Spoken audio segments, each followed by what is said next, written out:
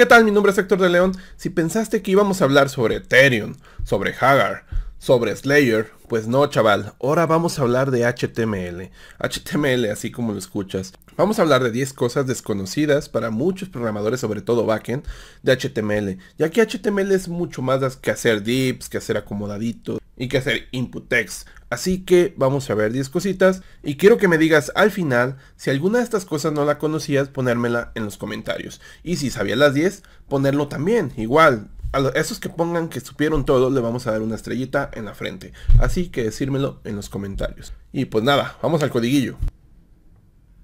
Venga, que HTML es, es, muy, muy, muy enorme. Hay muchísimas etiquetas y algunas que han sido ya depreciadas, pero es interesante conocerlo de repente, esas cosas que van saliendo, surgiendo, ya que te pueden apoyar y te pueden, ah, sobre todo, no reinventar la rueda. Bien, vamos a comenzar con los elementos en HTML pueden ser editables. Y cuando digo editables, que puedes tener un div que pueda ser editable. Por ejemplo, aquí vamos a poner código HTML. Y vamos a poner aquí, estos vamos a quitarlo, quítese por allá, no quiero nada de, JavaScript ni de CSS, quítese. Aquí vamos a poner el contenido que esté aquí a media del body y se va a mostrar a la derecha en automático. Vamos a agregar un div y nosotros podemos hacer que este div sea editable, es decir, que yo pueda editar su texto aquí a la derecha. Basta con que pongamos el atributo, bueno, el llamado content editable aquí y lo pongamos en true. Ponemos aquí un true y va a funcionar como editable este div. Mira, ya puedo editarlo. ¿Te fijas? Así de sencillo. Pero este atributo va más allá. Por ejemplo, también podemos utilizarlo en labels. como podemos ver a continuación. Aquí un label. Podemos utilizarlo en label también. Y también lo podemos utilizar también en botones, tal cual, ¿eh? A lo mejor eso no lo imaginabas. Imagina, aquí un botón con esa propiedad. Podemos cambiarle el texto, mira. El botón. Y le podemos cambiar el texto. Soy un botonazo. Tal cual. Esa es la propiedad Content Editable. En mis tiempos que yo comencé a trabajar con HTML era muy difícil hacer un color picker. Es decir, estos componentes donde puedes escoger un color. De hecho, teníamos que bajarnos unos plugins de jQuery para poder hacerlos. Pero ahora es bien sencillo. Basta con que hagamos un input y le pongamos su tipo como color, tal cual. Así le pongamos color y esto ya se va a hacer automáticamente un color picker.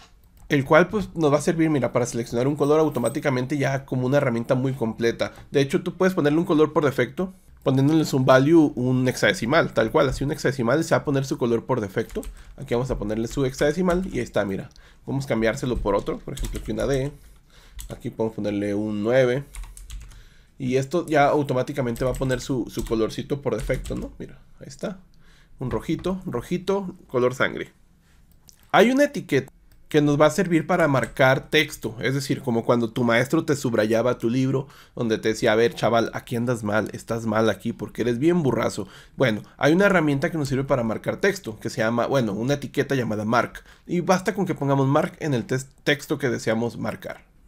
Por ejemplo, aquí yo quisiera eh, subrayar Gustava el C Sharp. Basta con que pongamos aquí en la etiqueta mark y pongamos al final el cerrado donde deseemos que termine el subrayado. Y está, mira, está marcado con marca texto. Si usted quisiera cambiarle el color, pues lo puede hacer con CSS. Aquí prácticamente ponerle un yellow o ponerle, pues aquí vamos a poner un red. Y el texto va a cambiar, bueno, el marcado va a cambiar de colorcito. A esos que les gustan los currículums de ponerle tanto por ciento y una barrita ahí de, de que pues, realmente eso es banal ponerle un porcentaje de cuánto sabes sobre una herramienta, pero pues si quieres hacerlo para ese tipo de situaciones o la mejor otras situaciones, no es necesariamente tu currículum, una situación donde tengas que medir un progreso, pues basta con que pongamos la etiqueta Matter, así tal cual Matter. Lo que hace el Matter es ponerle una, una barra de progreso. Y vamos a ponerle un mínimo, un máximo, por ejemplo, aquí mínimo 0, máximo 100. Y yo le quiero poner su value en 50 para que se marque que llevo eso de progreso. Mira, de esa manera funciona Matter. Así podemos tener una barrita muy chula. Hay otra barra que nos sirve parecidamente llamada Progress, que esta sirve como masa para porcentajes. Matter sirve como para mostrar una cantidad fija realmente no le vas a ver mucha diferencia visualmente, a menos que en ciertos navegadores sí te muestra un texto. La diferencia de Progress y Matter, aunque Progress igual podemos ponerle, por ejemplo, el máximo y vamos a poner aquí el máximo, el mínimo. A diferencia de Matter, en algunos navegadores nosotros podemos ponerle aquí un el valor, ¿no? Por ejemplo, puedo poner un 50%, aunque en este navegador no se va a ver. Hay algunos navegadores que este 50% sí te lo muestran, ¿no? 70, 80, lo que te ponga. Bueno, aquí tenemos dos opciones, ¿no? ¿Cuál quieres utilizar? ¿Una barra de progreso o un meter? Nosotros podemos decirle al navegador que verifique algo ortográficamente dependiendo de nuestro lenguaje, si está bien o mal escrito. Por ejemplo, agregando el atributo spellcheck en true, así tal cual. Aquí ya nosotros automáticamente al momento que escribamos algo mal, el navegador nos lo va a marcar eh, directamente que está mal, ¿no? Así subrayadito, ¿te fijas? Y nosotros igual podemos poner esto en falso y el navegador lo va a ignorar. Mira, ahora va a poner aquí carro con K y lo va a ignorar. Entonces tenemos la opción de dejarlo, de hecho por defecto está en true, pero aquí lo podemos dejar en falso y ya el navegador no nos lo va a marcar. Esto también puede funcionar con tag que tienen la propiedad que vimos hace un momento llamada content editable. Por ejemplo aquí podemos poner un párrafo que sea editable y cuando yo quiero editarlo, fíjate, el día no tiene acento y me lo está marcando. Y automáticamente te va a ir marcando las cosas que, que no detecte como parte de tu lenguaje. Hay una forma de hacer acordeones muy fácil en HTML con un tag llamado details. Details yo no lo conocía, era de esas cosas que nacieron o ya existían pero nunca lo había utilizado y yo tenía que ir a, ver directamente un plugin o cómo hacerlo con JavaScript. Y aquí podemos ver con details junto con su summary, aquí podemos ver que ya se está haciendo un acordeón. Y lo que hace summary prácticamente es el texto que se va a mostrar y nosotros podemos poner un texto abajo y ese texto cuando le pegamos aquí se va a salir, mira, ahí está. Entonces nosotros podemos hacer un acordeón muy chulo, muy sencillo, prácticamente con unas linitas de código. Ponemos details, su, summary, que va a ser el texto, y ya tenemos nuestro acordeoncito. Podemos poner otras cosas, por ejemplo acá otra. Y podemos ponerlo en open, con su valor open, para que esté abierto por defecto. Tenemos el open, le quitamos el open y están cerrados, le ponemos el open y está abierto. Entonces mira, ahí está, así de sencillito. ¿Y qué pedo? ¿Hay una cosa que no haya sabido? Decírmelo en los comentarios. O llevas todas, ¿a poco eres bien listillo? Y todo lo que hemos visto, lo has sabido. Igual, decírmelo, soy bien listo, he sabido todo. Bueno, vamos a lo que sigue. Nosotros hace un tiempo tenemos, si queremos hacer una ventana modal, es una ventana que está sobrepuesta sobre el contenido.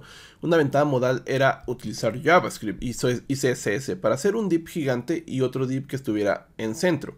Bueno, pues HTML ya tiene una etiqueta, la llamada dialog, la cual puedes poner un texto, hola, Coca-Cola. Esto no ha sido patrocinado por Coca-Cola. Y Dialog automáticamente tiene una, eh, puede poner con Open abierto. Mira, ahí está. Tal cual. Este es un diálogo que se pone detrás de tu, contenido HTML y de esta manera bien sencillo. Igual esto puede funcionar junto con JavaScript. Por ejemplo, nosotros podemos ponerle aquí un, un ID a este diálogo para poder nombrarlo con JavaScript. Aquí vamos a ponerle un DLG. Vamos a quitarle este Open y nosotros podemos poner un botoncito, el cual al darle clic tiene un método automático, este elemento llamado DLG Show Modal, su método, y esto se va a abrir. Mira, le aplicamos aquí, se abre. Y ahora si queremos cerrarlo, podemos poner igual un botoncillo, el cual sirva para cerrar. E igual, nos dirigimos por el ID al elemento dialog, nos dirigimos por el ID dlg.close ¿Sabías que es otra cosilla que de repente sacan de pedo las, personas que están separadas un tiempo de HTML es que tú puedes llamar directamente por el ID, sin hacer un document.getElement by ID, directamente el ID así, DLG, y el método close. Abrimos, cerramos, abrimos, cerramos. Hay algo que es muy, muy, muy, muy viejo y es que tú puedes relacionar un label con un input para que pongas el foco. Por ejemplo, vamos a poner aquí un label y un input. El input le vamos a poner un ID llamado myText. Y hay una forma de que yo al momento que le dé clic al label se ponga el foco en el input. Es decir, el foco es que se ponga el cursor ahí. Basta con que pongamos el atributo for, el ID de mi elemento y al momento que yo le doy clic al label, fíjate, se pone el foco ahí. ¿Te fijas? Y también esto puede funcionar con checkbox. Y en checkbox va a tener un funcionamiento distinto, ya que en lugar de poner el foco va a ayudarnos a checar. Por ejemplo, aquí vamos a quitar este, quítese por allá. Quitemos este, dejemos el checkbox solo. Y lo que va a hacer el checkbox cuando estoy relacionando con for es checarlo, mira. ¿Te fijas? Entonces esto le da una facilidad al usuario para que no tenga que ir a la cajita directamente, sino que directamente le doy aquí y se va a funcionar tal cual. Y eso también funciona con los el, tag que acabamos de, el input type que acabamos de ver llamado color, por ejemplo, aquí ponemos el color e igual el color va a abrirse, mira. ¿Te fijas? Ta, ta, ta, ta, y ya le escoges. La magia a recordar la hace el atributo for con el ID. Así, tal cual. Hay un elemento que tienen los combo box o selects de HTML, el cual nos permite agrupar. Fíjate, aquí tenemos los elementos en options, pero nosotros podemos agrupar. Por ejemplo, aquí yo quiero que las cervezas de arriba son las mexicanas y las cervezas de abajo son las alemanas. Con el elemento opt group podemos agrupar esto. Fíjate, tiene aquí cerveza mexicanas y cerveza alemana. De esta manera podemos darle más visualización a nuestras opciones en nuestros combo box. Cuando hace mucho tiempo, siempre hablo hace mucho tiempo, teníamos que hacer un autocomplete, un elemento para seleccionar a partir de un combo box y seleccionar autocompletando, era ir a JavaScript, ir a utilizar plugins, ir a utilizar cosas ya hechas o hacerlas nosotros, pero era, era laborioso. Entonces aquí en HTML ya tenemos una forma de hacer esos autocomplete muy muy muy sencilla. Por ejemplo, aquí vamos a poner un label que diga el servir, elegir cerveza. Vamos a poner un input y ese input vamos a hacerlo del tipo text, así tal cual. Y ese text yo quiero darle opciones que cuando esté escribiendo se autocompleten. Aquí para eso vamos a utilizar un elemento, un tag llamado data list.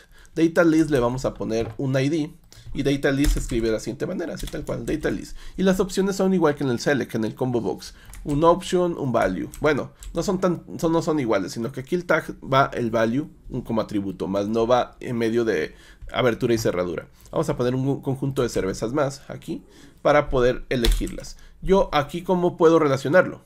Quiero relacionar que en mi text que está arriba salgan las opciones que están aquí abajo, las que he puesto aquí debajito que son un conjunto de cervezas. Bueno, te fijas que tenemos una ID aquí. Hay un atributo en los inputs llamado list, el cual va a recibir el ID que tú les otorgues de un data list. Por ejemplo, aquí virs. Y esto automáticamente va a hacer la magia. Así está, mira. Ya tenemos los valores aquí abajo, tal cual. Yo igual sirve como autocompletar. Por ejemplo, si pongo Erdinger, va a ir autocompletándolo. Igual te va a ir a buscar las palabras si están a medias. Por ejemplo, pongo una LI y esto se incluye tanto en Bootlight como en Delirium. La LI está a medias, es decir, no necesitas ir buscando de izquierda a derecha, sino que te busca completamente el texto. Por ejemplo, yo pongo una y nos va a dar corona, ¿no? Que tiene la al final. Y así de fácil haces tu autocomplete, sin tanta complejidad. ¿Alguien recuerda la etiqueta Blink? Sí, cómo no. Que era la, Cuando, yo empecé con HTML, recuerdo que yo practicaba con eh, Marquesina, que lógicamente es el efecto Marquesina, y con Blink, y yo me creía hacker. Yo pensaba que no había límites. Yo, de, aquí a la NASA, mami, decía, porque yo me sentía muy poderoso. Sí, porque tú decías, o sea, con poner esta etiqueta y por último, esto es un extra. Hay esa etiqueta Blink, ya lamentablemente no la soporta los navegadores, pero sí soporta el marquee. ¿Qué es el marquee? Una marquesina. El marquee basta con que pongamos marquee, pero ya es depreciada, no es opcional, no es, no es como algo que te sugiera que utilices, pero lo que sí te voy a sugerir que utilices y ahora mismo lo vayas haciendo si eres nuevo por aquí, es que te suscribas a mi canal, chaval. Si eres nuevo por aquí, suscríbete a mi canal. Esto fue 10 cosas poco conocidas de HTML. Espero que alguna no la hayas sabido para que hayas aprendido algo. Quiero agradecerte si has llegado hasta este punto y decirme en los comentarios si alguna de las cosas no las sabías. Quiero recordarte que tengo unos cursos que están en el primer comentario, que están en promoción. Mi nombre es Héctor de León. ¡Vámonos!